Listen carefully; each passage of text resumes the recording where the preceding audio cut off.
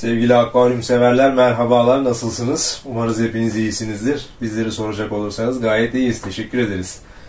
Ee, yakın zamanda bitkili akvaryum kuracağımızla alakalı bir e, görsel iletmiştik sizlere. Ee, bitkilerimizi gelişi, kargomuzun açılımı, e, bitki çeşitlerimizin neler olduğuyla alakalı videomuzu zaten izlediniz. E, bitkilerimizin biz dikilim işlemlerini yaptık. E, yerlerine adaptasyonlarını sağladık. Birazdan e, yakın planda daha detaylı bir şekilde sizlere göstermeye çalışacağım. E, yanında görmüş olduğunuz şekilde e, böyle bir akvaryumumuz var. Fazla büyük ebatlarda değil. Daha önceki dönemde ben farklı bir akvaryumda daha bitkili çalışmayı denedim.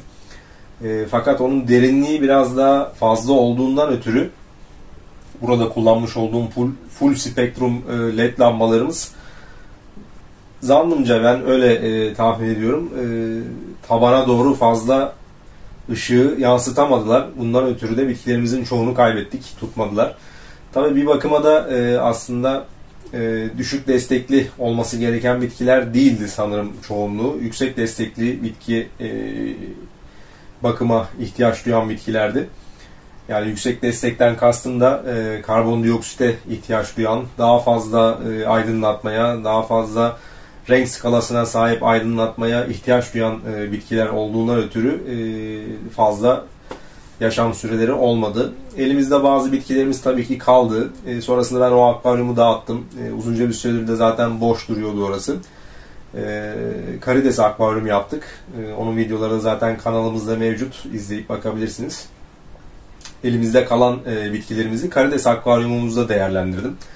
Daha sonrasında e, tabii ki birçok e, hobici arkadaşımızın, akvaryum sever arkadaşımızın e, bitkili akvaryumlarını kanallardan da takip ettiğim üzere zaten her hobicinin de e, akvaryumla ilgilenen hobidaşın da e, aklının hep bir köşesinde bitkili akvaryum kurmak vardır.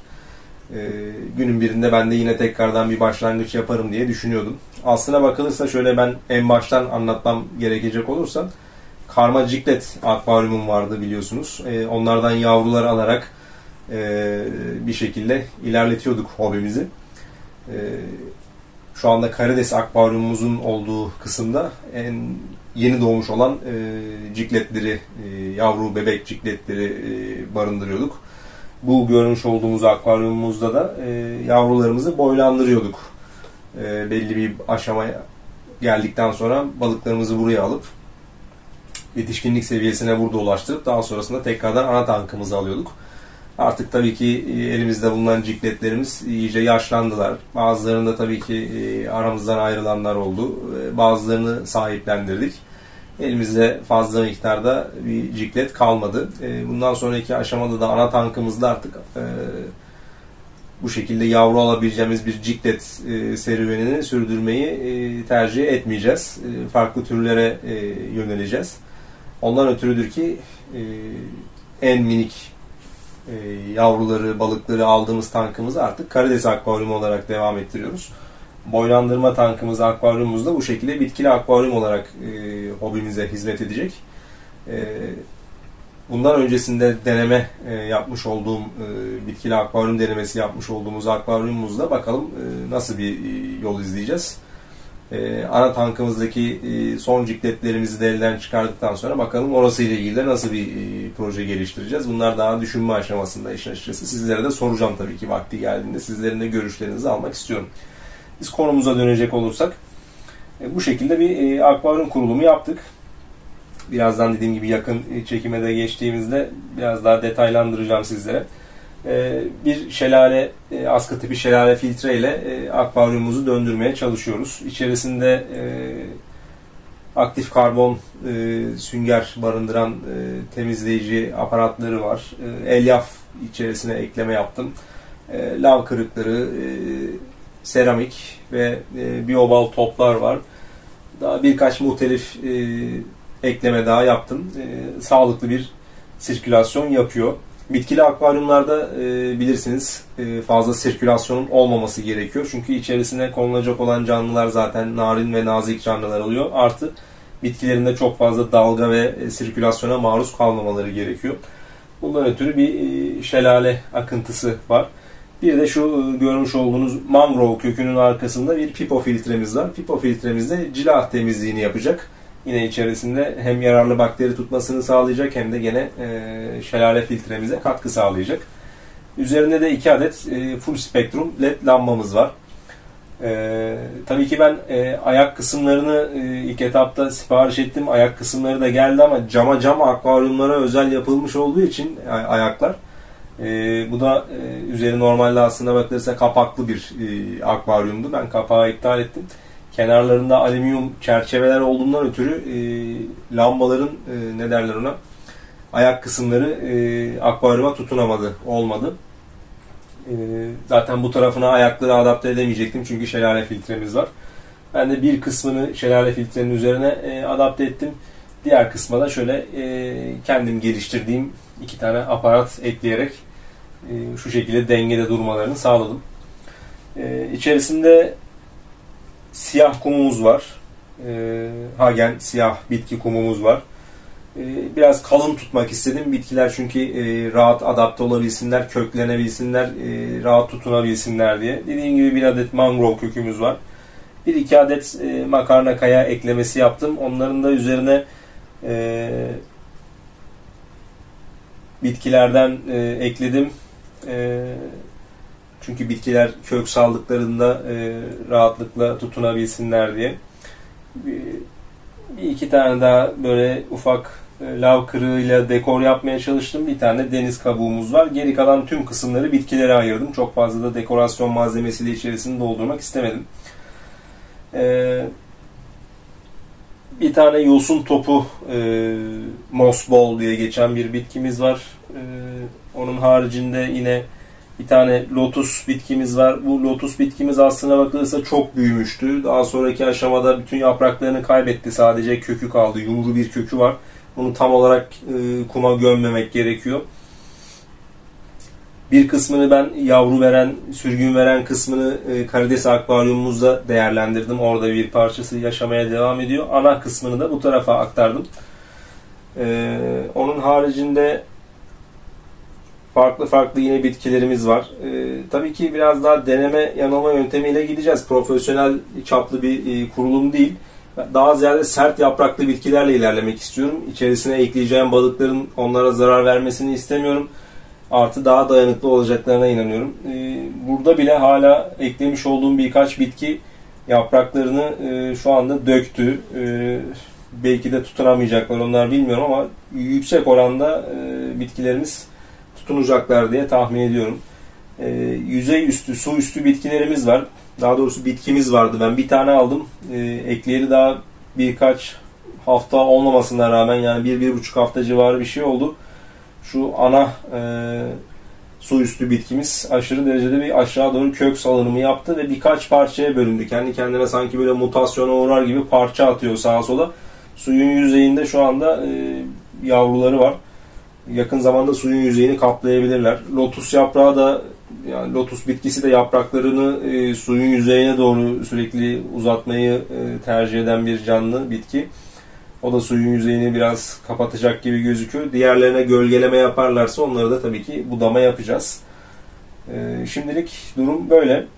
İsterseniz biraz da yakın çekime geçelim. Daha yakından sizleri göstereyim. E, sonrasında da e, ne balık besleyeceğimiz, içerisine nasıl bir canlı ekleyeceğimizle alakalı sizlerin fikirlerinize ihtiyacım olacak. Sevgili akvaryum severler, akvaryumumuzun, e, bitkili akvaryumumuzun yakından görünümü de bu şekilde. E, dediğim gibi düşük destekli bir e, akvaryum.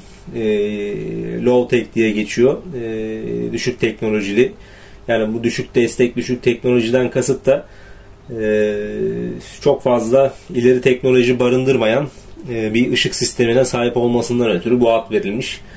Yani ileri düzeyde bir aydınlatma yapılmıyor. Bu bitkili akvaryumun esprisi zaten aslına bakılırsa ana temel e, kaynağı şifresi e, aydınlatma. Yani bu aydınlatmalar e, bitkilere güneş ışığını taklit eder vaziyette bir aydınlatma sağlıyor. Güneşten onların almış olduğu enerjiyi taklit eden e, farklı farklı renklerde e, içerisine döşenmiş olan ledlerle e, bu aydınlatmayı güneşe en yakın derecede sağlayan aydınlatma sistemi düzeneği. Tabi daha farklı bitkiler beslemek isterseniz daha renkli, daha çiçek açan, daha e, egzotik ve endemik türler de tabii ki tam anlamıyla güneş ışığına e, benzeşen yakın derecede bir teknolojiye ihtiyaç duydukları için de e, daha farklı ileri düzeyde bir aydınlatma kullanmanız gerekiyor. Şu an benim kullanmış olduğum aydınlatma düşük destekli teknolojili bir aydınlatma. E, bu içerisinde barındırmış olduğu bitkilere de yeterli olabilecek bir aydınlatma. Dediğim gibi e, anubiaslar var, e, Christmas moss'lar var, e, moss bol yosun topumuz var, e, lotus çiçeğimiz var, gül bitkisi diyebileceğimiz bitkilerimiz var. Bunlar ileride kırmızımsılaşacaklar. Şu anda hatta üstleri biraz kızarmaya başladı. Bu tarz bitkilerimiz var.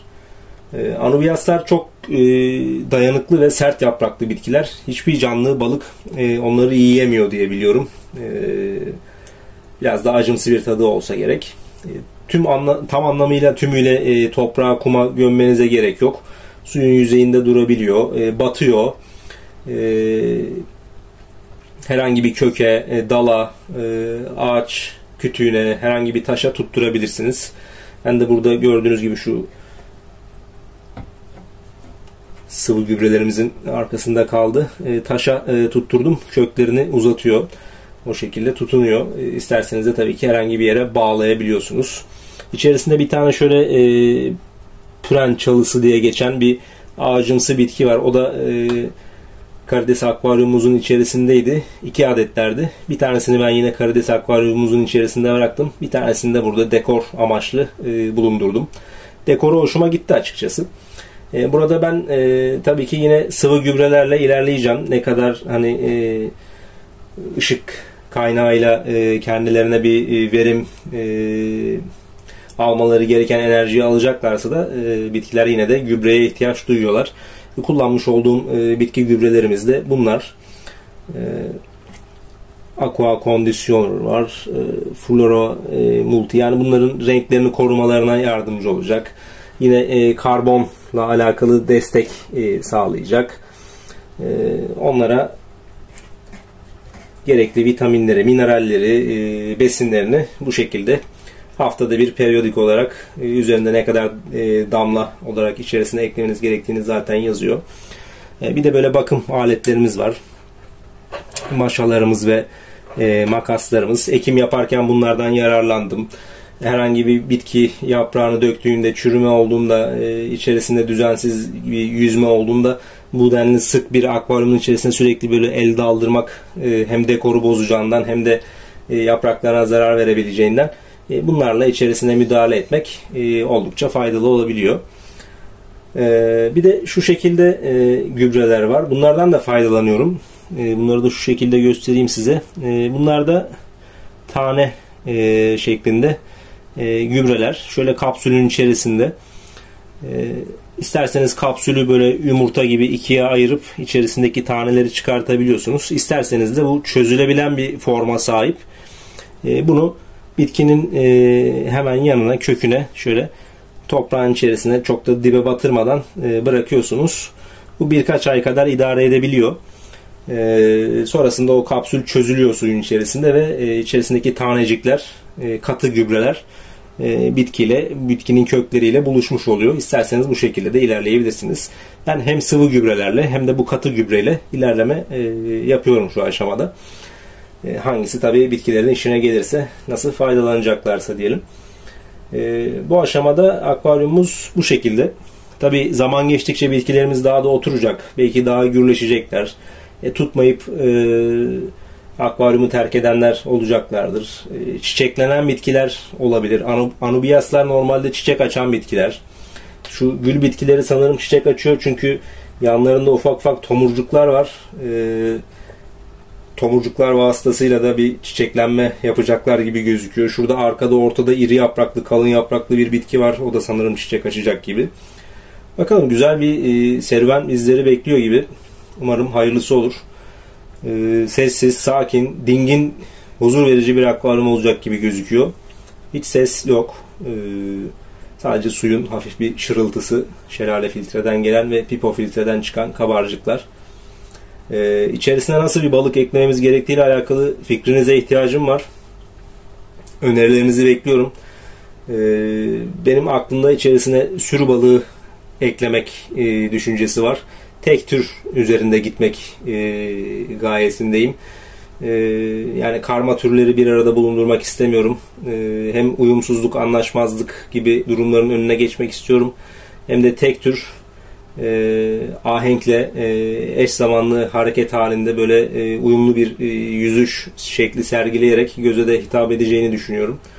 Umarım e, düşündüğüm gibi olur. E, tabii sürü balıkları çeşitli, e, çok farklı e, yelpaze ve skalaya sahipler. Hangisi olur bilmiyorum.